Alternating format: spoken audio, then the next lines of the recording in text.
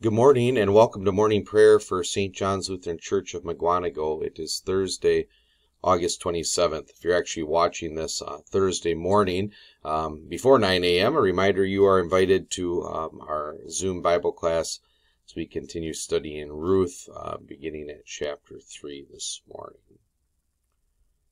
In the name of the Father, and of the Son, and of the Holy Spirit. Amen.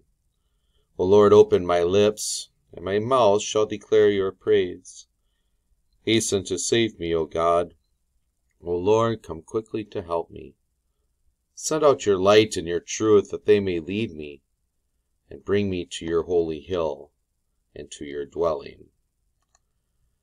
Sunday morning, uh, I was able to attend the opening service at Luther Preparatory School for Andrea and Emma. Part of that service um, always involves uh, the installation of some new teachers and pastors on staff there, ordination if it's a pastor's first call into the ministry, and this year was no exception.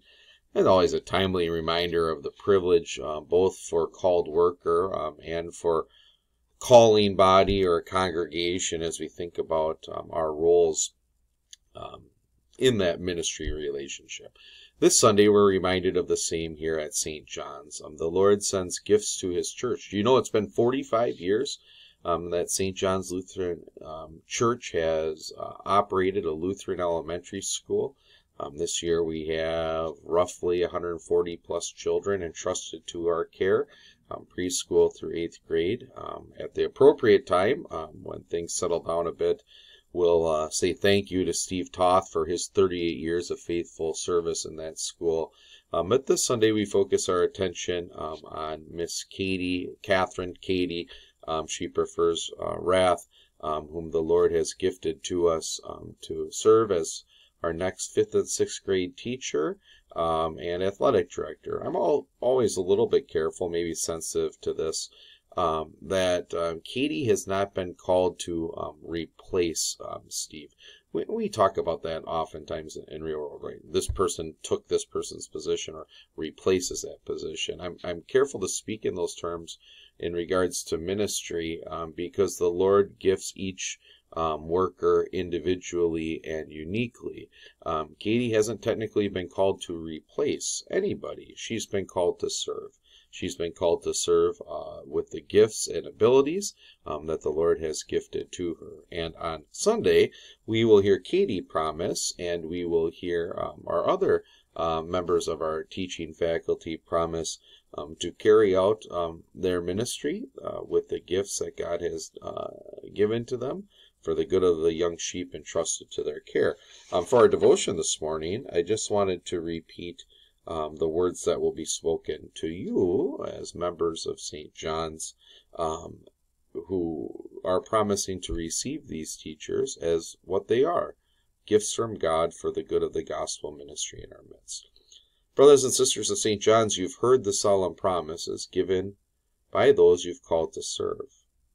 Work together with them for our Lord's kingdom so that by your works of service the body of Christ might be built up. And I think that's a nice way to approach words and actions. Is this to be seen as working together with our teachers for the building up of God's kingdom um, here in this place? Number two, always keep them and their work on your behalf in your prayers, so that their ministry may be greatly blessed, and that they may work among you with joy um, when it comes to uh, political leaders or leaders in the church or leaders in the home. That's an honest question to ask ourselves.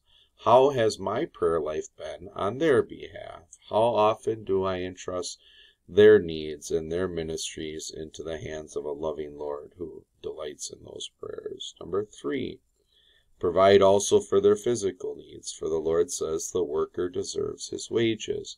I'll speak on behalf of all the called workers here at St. John's. It is an absolute privilege and it brings joy to us in our ministry for all the physical blessings we receive from the congregation um, that comes with serving here. I said you preach the gospel for free, but the payment that is given allows you to do so. I don't have to have a real job. This is what I get to do. Um, it is um, a joy and a reason to give thanks to God for your support of those whom God has sent to your midst. So thank you for that continued support. Number four, honor and love them as the Apostle Peter urges. All of you be like minded, be sympathetic, love one another, be compassionate and humble. Of course, in the training of children, there will be times when we disagree with one another, when parents disagree with teachers, and vice versa. With the words of Peter covering over that, being sympathetic, love one another, be compassionate and humble. Those conversations will be a blessing. It doesn't mean that uh, Christians are always going to see eye to eye or that there will never be a, a disagreement. It means that when we disagree, here are the words um, that that guide those disagreements. Um, if you can clothe that email or that phone call um, with sympathy in Christian love, compassion, and humble. God bless it all to His glory. And then we promise to do so. So, what do we say this day? Lord, thank you for the gift of faithful teachers. Lord, thank you for parents and students that uh, fill our Lutheran elementary school, that fill our Sunday schools, high schools, our congregation.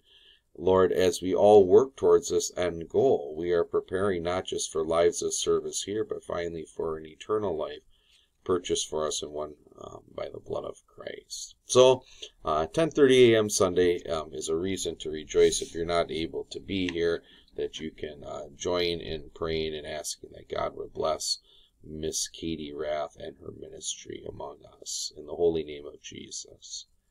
Amen. In the morning, O Lord, I call to you.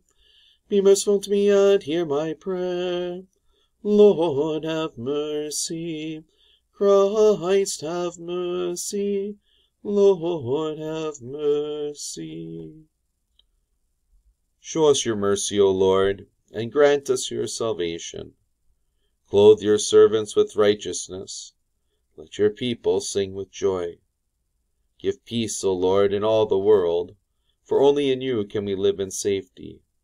Lord, keep this nation under your care, and guide us in the way of justice and truth. Let your way be known upon earth, your saving health among all nations. Let not the needy, O Lord, be forgotten, nor the hope of the poor be taken away. Create in us clean hearts, O God, and sustain us with your Holy Spirit. Our Father who art in heaven, hallowed be thy name. Thy kingdom come, thy will be done, on earth as it is in heaven. Give us this day our daily bread, and forgive us our trespasses, as we forgive those who trespass against us. And lead us not into temptation, but deliver us from evil. For thine is the kingdom, and the power, and the glory, for ever and ever. Amen. Let us pray. Almighty and everlasting God, you are always more ready to hear than we are to pray and to give more than we either desire or deserve. Pour upon us the abundance of your mercy, forgiving us those things of which our conscience is afraid, and giving us those good things for which we are not worthy to ask, except through the merits and mediation of your Son, Jesus Christ our Lord, who lives and reigns with you in the Holy Spirit, one God, now and forever. Amen. Let us praise the Lord.